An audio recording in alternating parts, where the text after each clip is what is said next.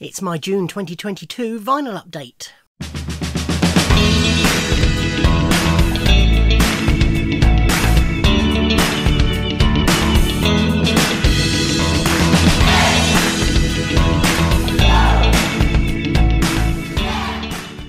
Ahoy, hoy, everybody, and this is early morning, just got out baggy eyed Martin, welcoming you to my June 2022 vinyl update.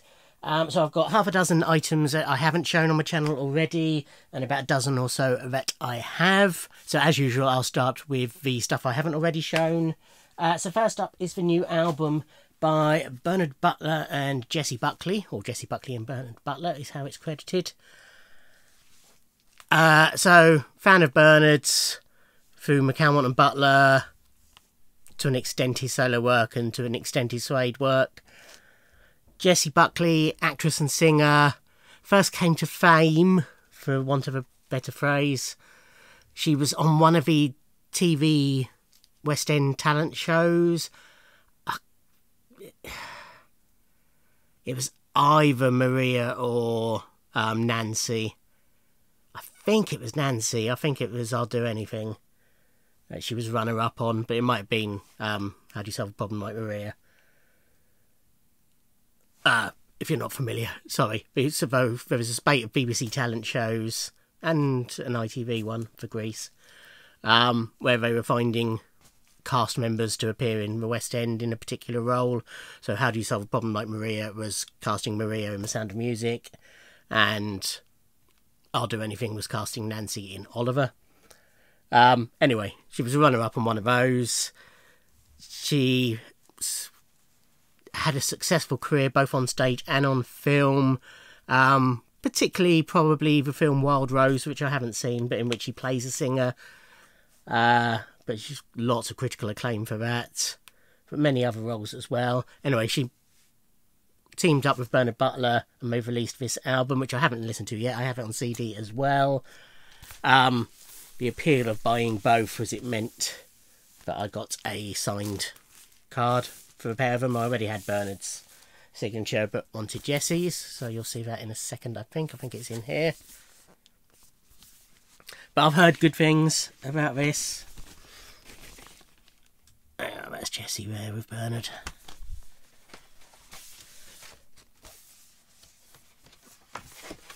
Is this it? Yeah, so there's this signed card. So quite a simple signature from Jessie. Still nice to have. And it's on two discs, just black vinyl. Nice custom labels though.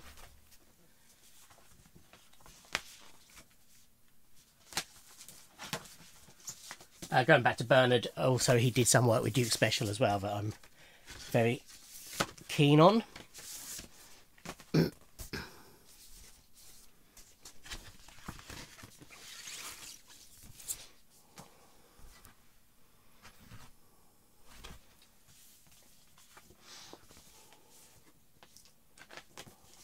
Okay.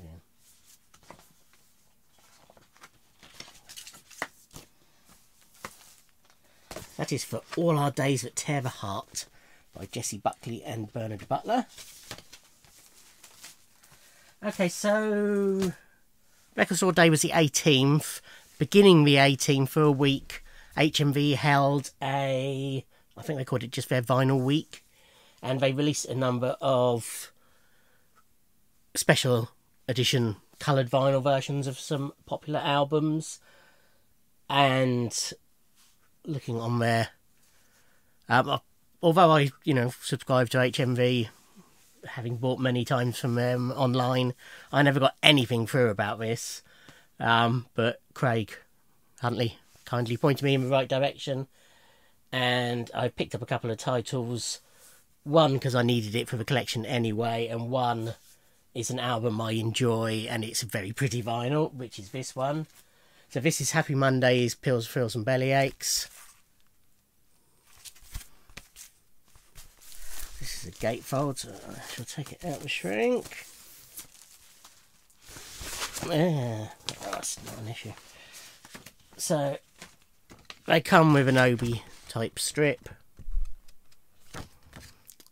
because it's the 100th anniversary of HMV that they're celebrating, whether that was last year. And nice gatefold.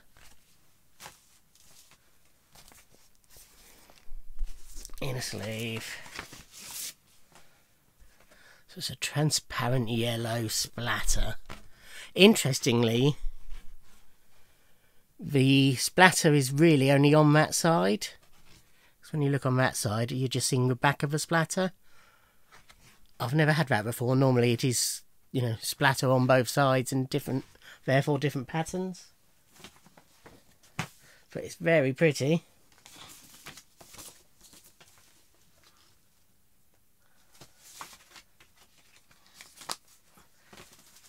And then the other one was an album that I didn't have in my Kinks collection. So this is Face to Face. Uh, limited edition Violet colour vinyl, their fourth studio album released in 1966, includes Sunnier. Yeah, always have to always have to double check between Sunny Afternoon and Sunday Afternoon, which is Kinks, which is Small Faces. Sunny Afternoon and Daisy. Sorry, Dandy. Quite like the sticker has that image on it. Uh, so yeah, they're, they're calling this violet. I'm just calling it purple personally. Same colour as many of my purple vinyl records. But yeah, a Kinks album I needed for my Kinks collection. So that was a instance, yes please. Okay, next up is a somewhat controversial record.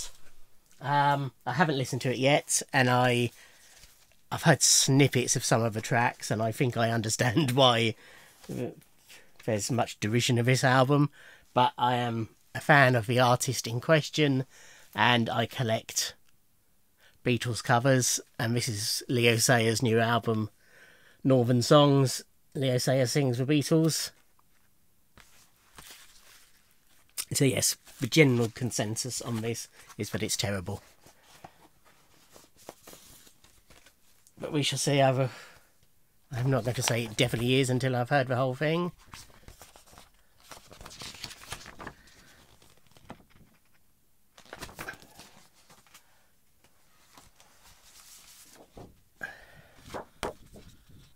Signed print with it.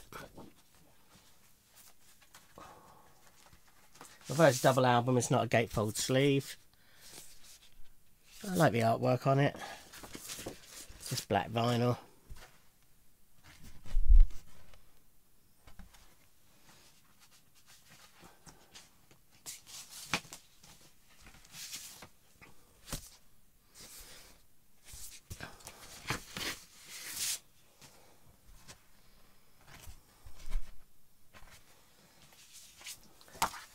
So I should go into it expecting it not to be very good, and that might mean that I can enjoy it a bit more than people who had hopes for it.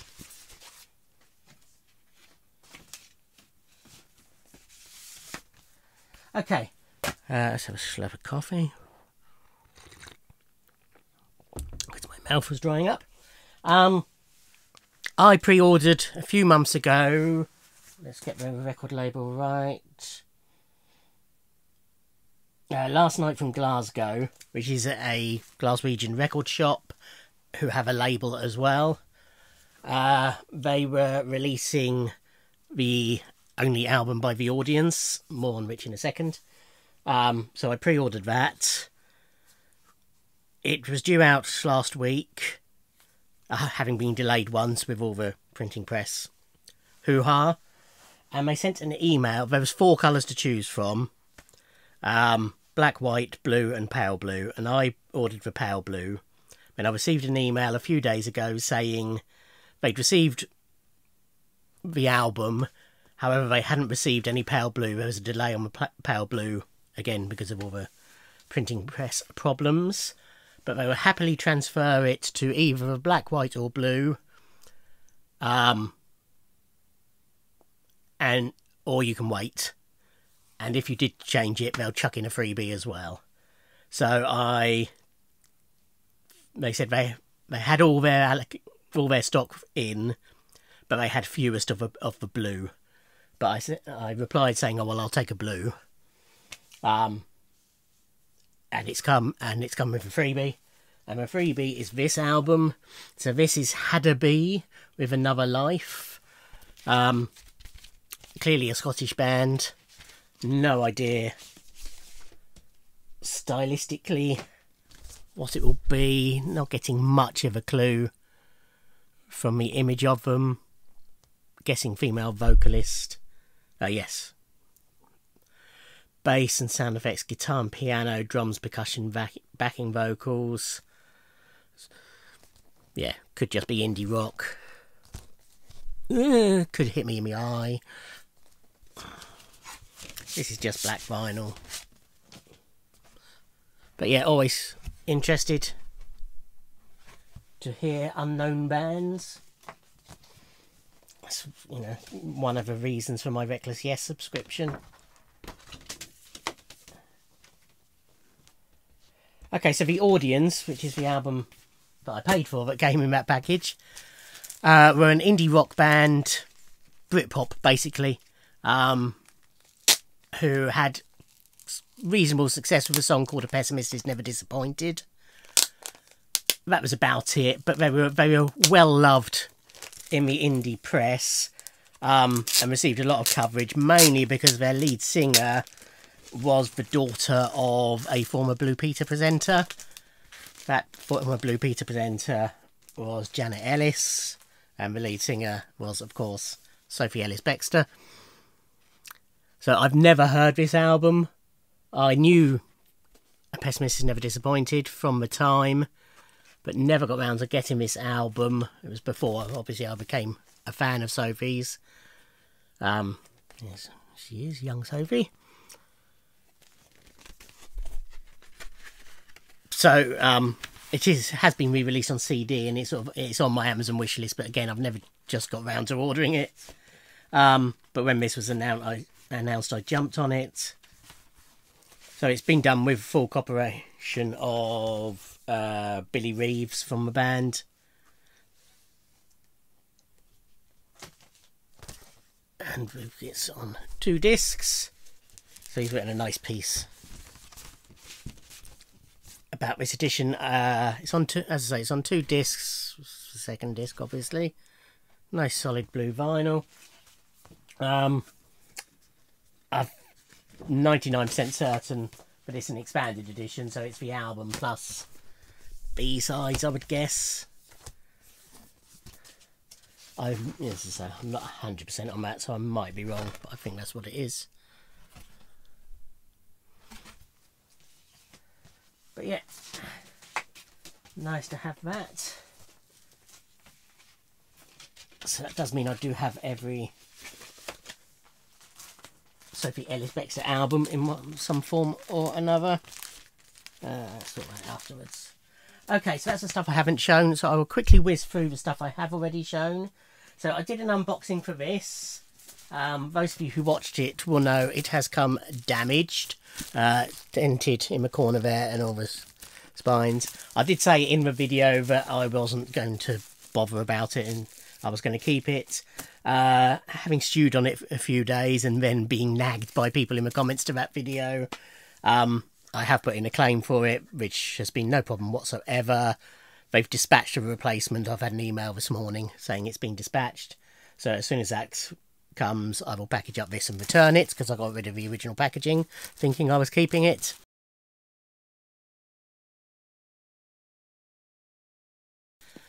Um, but yeah, this is Queen, the Platinum Collection. So this is basically Greatest Hits 1, 2 and 3. Two discs for each on coloured vinyl.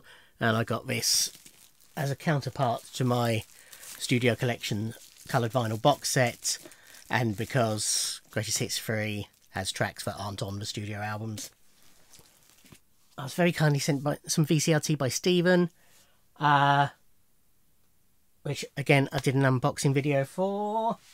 So in it was Sigrid's Sucker Punch, which I have to show the vinyl on because it is gorgeous.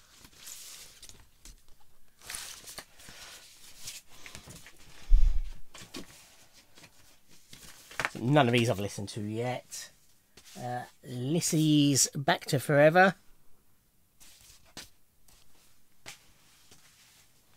The Bowie Legacy, or Bowie Legacy, however you want to say it. I, I chop and change personally, mainly Bowie. Compilation. Uh, Michael Jackson plus for Jackson 5, 18 greatest hits. Uh, Celeste, Not Your Muse. There's a signed art card in this. And the Best of Bond, James Bond. Free disc, yeah, free disc. Compilation of all the Bond themes. So thank you once again, Stephen. Um, again, unboxing four the new Prince release, Prince of Revolution Live. Uh, so this is obviously the standard vinyl free disc edition. I've listened to the CD.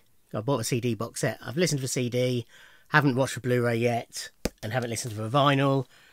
It's not one that I've you know rushed to put on because I've known this concert you know, like the back of my hand. I can do all the speaking bits if you like. You know, it's very well known to me.